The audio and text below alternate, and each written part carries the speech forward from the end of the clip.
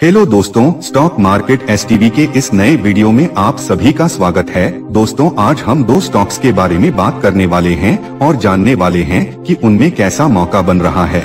आपसे सिर्फ़ इतना अनुरोध है कि आप वीडियो को पूरा देखें और अंत तक देखें। इससे पहले हम आगे बढ़े। अगर आपने अभी तक हमारे चैनल को सब्सक्राइब नहीं किया है तो हमारे YouTube चैनल को सब्सक्राइब करें और बेल आइकॉन को प्रेस करें ताकि आने वाले वीडियो की नोटिफिकेशन आपको सबसे पहले मिल सके। इसके साथ ही अगर आपको यह वीडियो पसंद है और यह जानकारी पूर्ण लगता है तो इस वीडियो को लाइक कमेंट और शेयर करें।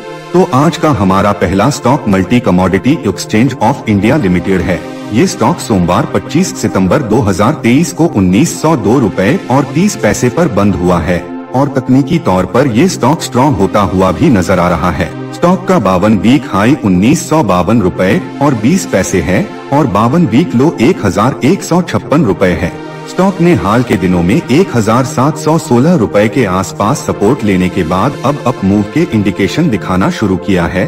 अब जो इसका टारगेट निकल के सामने आ रहा है, वो है इसका पहला रेजिस्टेंस उन्नीस सौ पचपन रूपए और पच्चीस पैसे, इसका दूसरा रेजिस्टेंस दो हज़ार चौबीस रूपए और पचासी पैसे, और इसका तीसरा रेजिस्टेंस दो हज़ार इक्यानवे रूपए और पैंतालीस पैसे। अगर यह स्टॉक अपना अप मूव कंटिन्यू रख पाता है तो आने वाले समय में यह स्टॉक इन लेवल्स को भी टच करते हुए नज़र आ सकता है। और अगर ये स्टॉक इस लेवल से नीचे की तरफ़ जाता है तो इसका पहला सपोर्ट होगा एक हज़ार आठ सौ तैतालीस रूपए और पच्चीस पैसे। इसका दूसरा सपोर्ट होगा एक हज़ार सात सौ सोलह रूपए और दस पैसे। और इसका तीसरा सपोर्ट होगा एक हज़ार छह सौ सैतीस रूपए और चालीस पैसे। इस स्टॉक में एक या दो परसेंट या फिर फ़र्स्ट सपोर्ट पे स्टॉप लॉस रख के करंट लेवल से थोड़ा ऊपर नीचे या तो फिर अपने एनालिसिस के हिसाब से एंट्री बनाया जा सकता है। तो आज का हमारा दूसरा स्टॉक आवास फाइनेंसियर्स लिमिटेड है। ये स्टॉक सोमवार 25 सितंबर 2023 को एक हज़ार छह सौ पचानवे रूपए और 50 पैसे पर बंद हुआ है।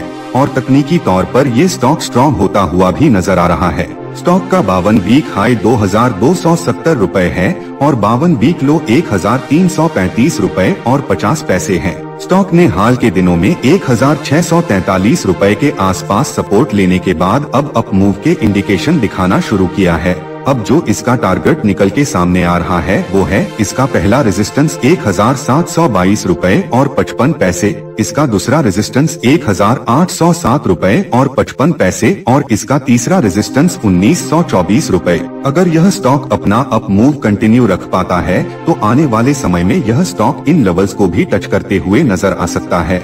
और अगर ये स्टॉक इस लेवल से नीचे की तरफ़ जाता है तो इसका पहला सपोर्ट होगा एक हज़ार पाँच सौ उनचास रूपए और चालीस पैसे। इसका दूसरा सपोर्ट होगा एक हज़ार चार सौ सात रूपए और पचहत्तर पैसे। और इसका तीसरा सपोर्ट होगा एक हज़ार तीन सौ पैंतीस रूपए और पैंतीस पैसे। इस स्टॉक में एक या दो परसेंट या फिर फ़र्स्ट सपोर्ट पे स्टॉप लॉस रख के करंट लेवल से थोड़ा ऊपर नीचे या तो फिर अपने एनालिसिस के हिसाब से एंट्री बनाया जा सकता है। दोस्तों, यह वीडियो केवल और केवल एजुकेशनल पर्पस के लिए है। इनमें कोई बाई सेल या होल्ड की सलाह नहीं है।